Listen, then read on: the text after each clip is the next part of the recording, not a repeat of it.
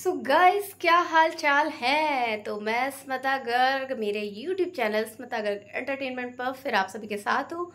Big Boss season three जी हाँ O T T platform जहाँ से यूट्यूबर्स एंड जो कंटेंट क्रिएटर इन्फ्लुएंसर हैं, उन सभी को लाया गया था। एंड सब अलग अलग कैटेगरी अलग अलग कह सकते हैं जिनका अलग अलग इंटरेस्ट था कुछ डांसिंग थे कोई बड़ा पाव गर्ल थी कोई नेजी दब्बा रैपर था कोई एक्टर था टीवी एक्टर था।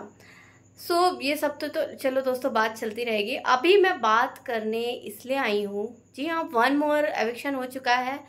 Most handsome tallest and charming personality Sai Ketan Rao ji हाँ दिखने में तो बहुत बहुत बहुत हैंडसम बंदा है। लेकिन उसका जो बोलने का अंदाज है ना ऐसा लगता है कितना मायूस टाइप का मतलब वो हैप्पीनेस नज़र नहीं आती है। वो एक्साइटमेंट नज़र नहीं आता है जब वो बात करता है। और यही चीज़ें हमको बिग बॉस में यही परफॉर्मेंस देखने को मिली। बस हर बात पे लड़ना, झगड़ना, बॉडी दिखाना समथिंग लाइक दैट यही चलता रहा। अगर नेजी अच्छे से खेलते तो अपने लुक का वो प्रॉपर यूटिलाइजेशन कर सकते थे। तो इसी के साथ उनका एक्शन हो चुका है।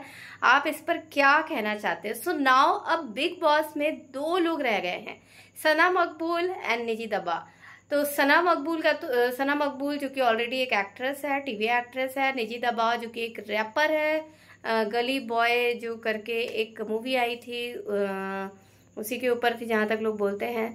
सो निजी द बा के लिए भी सभी लोग आसार लगा रहे हैं कि वो विनर हो सकता है, सना मकबूल भी विनर हो सकती है।